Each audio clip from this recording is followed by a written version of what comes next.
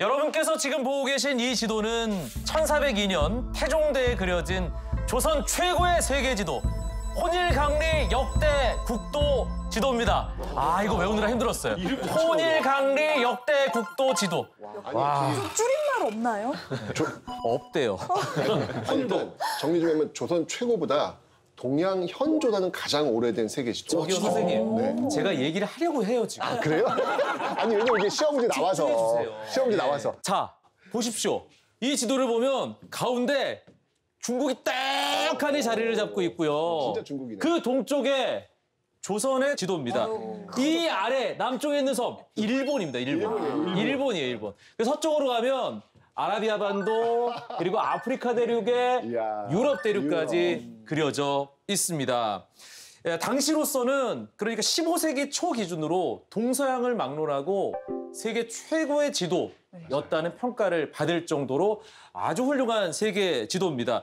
이 지도에는 하늘은 둥글고 땅은 사각형이라는 천원 지방의 천체관이 담겨 있고요. 그리고 모든 세계는 어디에 영향 아래? 중국, 중국의 영향 아래에 있다는 세계관도 담겨 있습니다. 센터. 그런데 이 지도가 그려지고 정확히 200년 후에 조선 사람들의 세계관이 무참히 깨지고 맙니다. 왜냐? 1603년 명나라를 통해 조선에 들어온 이 지도 고녀 만국 전도 때문입니다. 이게 1600년대 초반에 그려진 지도입니다. 당시에 저거 지도 보던 사람들이 저 세계 지도를 제대로 보면은 와 충격받았을 것 같아요. 아예 믿지를 못할 정도일 아니 것 같아요. 버전이 너무 점프했어요. 이거는 그쵸. 중간 과정이 없네. 조선인들은 전혀 상상하지 못했던 이 신대륙이 떡하니 오른쪽에 자리를 잡고 있고요. 어, 심지어 지구는 둥글다는 대지 구체설도 이 지도 안에는 담겨 있었던 겁니다. 그야말로 조선의 전통적인 세계관을 뿌리부터 뒤흔드는 그런 세계 지도였던 거죠. 이 지도를 그린 사람이 누구였느냐? 바로 선교사 마테오 리치였습니다. 세계사에서 아주 중요한 분이죠.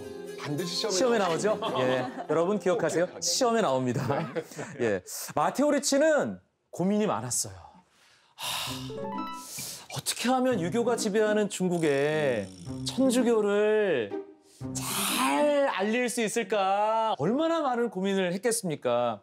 그래서 이 마테오 리치가 맞다. 세계 지도야.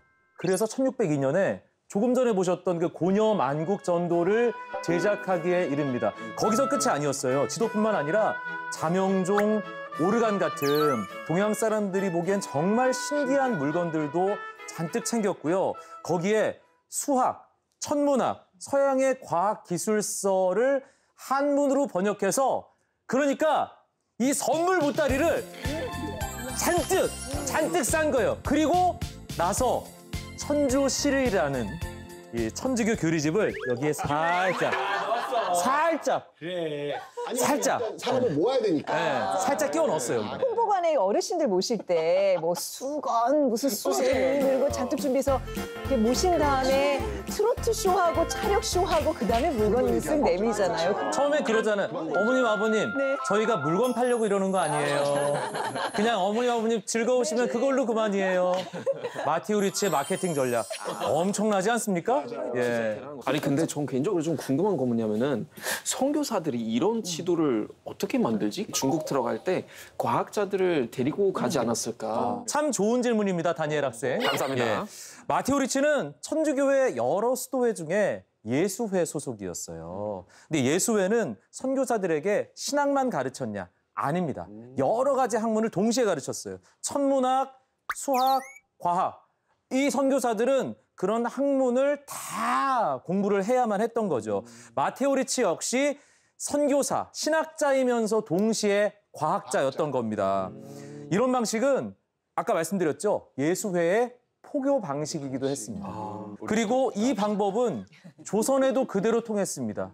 호기심이 정말 많았던 당시의 실학자들은 어?